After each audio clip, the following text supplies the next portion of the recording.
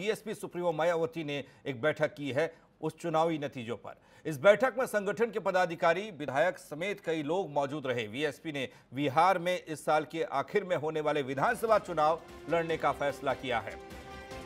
साथ ही 2022 में होने वाले यूपी विधानसभा चुनाव से पहले संगठन को मज़बूत करने को लेकर भी चर्चा हुई। विधानसभा चुनाव समेत कई मुद्दों को लेकर बीएसपी का मंथन। बिहार विधानसभा चुनाव लड़ेगी बीएसपी।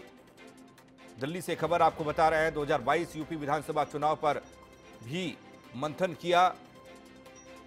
बीएसपी सुप्रीमो मायावती ने बैठक में संगठन के पदाधिकारी और विधायक मौजूद रहे। दिल्ली में बीएसपी की ये महत्वपूर्ण बैठक खत्म हुई है।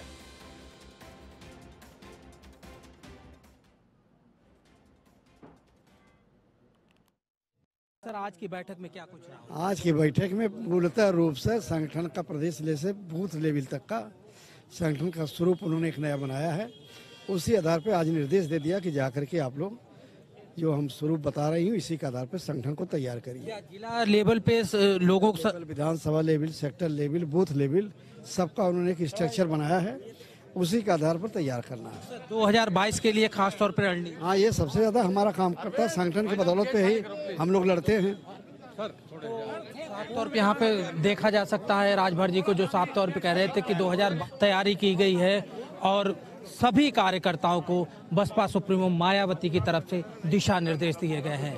कैमरामैन केसर के साथ Amit Dubey, R nine TV, Delhi.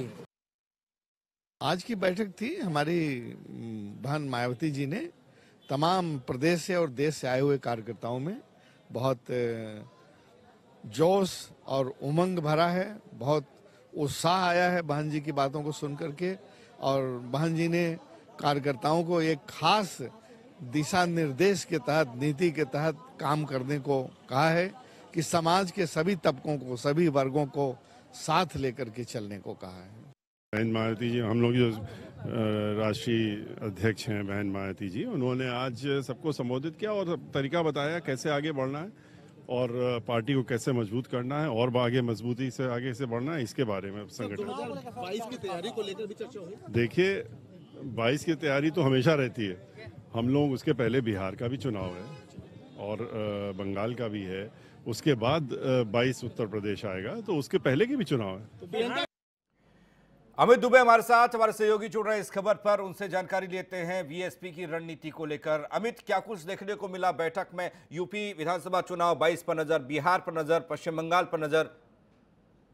देखिए, जिस तरह से चाहे सपा हो या कांग्रेस हो, लगातार यूपी को लेकर खास तौर मुहिम चला रहे हैं, चाहे वो प्रदर्शन के रूप में हो, चाहे वो संगोष्ठियाँ जो पार्टियों की तरफ़ से हो रही है, वो हो बीएसपी का इस तरह का कोई मूवमेंट नहीं दिख रहा था और यही वजह थी कि मायावती ने तमाम सांसद, विधायकों और नेताओं की बैठक यहाँ पे बुलाई और जिसमें बैठक में सारे कार्यकर्ताओं को बताया गया कि किस तरह से उन्हें जनता के बीच जाना है और किस तरह से आगे 2022 के लिए मज़बूत रणनीति बनानी है। हालाँकि इस बीच बिहार चुनाव की भी खबरें आ रही क्योंकि बिहार का चुनाव इसी साल होना है इसी साल के लास्ट में महीने में होना है। और ऐसे में बिहार को लेके भी पार्टी जो है चुनाव लड़ने की बात कह रही है। तो बिहार में भी संग, जो संगठन को लेके यहाँ पे काफ़ी कुछ चर्चा हुई है। लेकिन सबसे बड़ी बात जो थी वो यूपी को लेके हुई है क्योंकि मायावती लग रहा है कि जिस तरह से प्रियंका गांधी यूपी में सक्रिय हुई है कहीं ना कहीं बसपा को डैमेज कर सकती हैं। जी। बहुत बहुत शुक्रिया अमित आपका इस जानकारी के लिए। तो उत्तर प्रदेश विधानसभा चुनाव 2022 पर बीएसपी सुप्रीमो मायावती की नज़र है बीएसपी की नज़र है। ज़ाहिर सी बात है और पार्टियाँ काफ़ी ज़्यादा एक्टिव मोड में नज़र आ रही हैं कांग्रेस बीजेपी बीजेपी की सरकार और कांग्रेस की तरफ़ से प्रियंका गांधी लगातार उत्तर प्रदेश का दौरा कर रही है। कार्यकर्ताओं से मुलाकात और जनसंवाद हो रहा है। तो ऐसे में एक वक्त तक ऐसा लगा कि बीएसपी की रणनीति क्या है बीएसपी क्या करना चाहती है? कुछ हलचल बीएसपी में होती हुई दिखाई नहीं दी, लेकिन बीएसपी सुप्रीमो मायावती ने दिल्ली में पदाधिकारियों के साथ एक बैठक कर आगामी चुनावों के लिए रणनीति बनाई।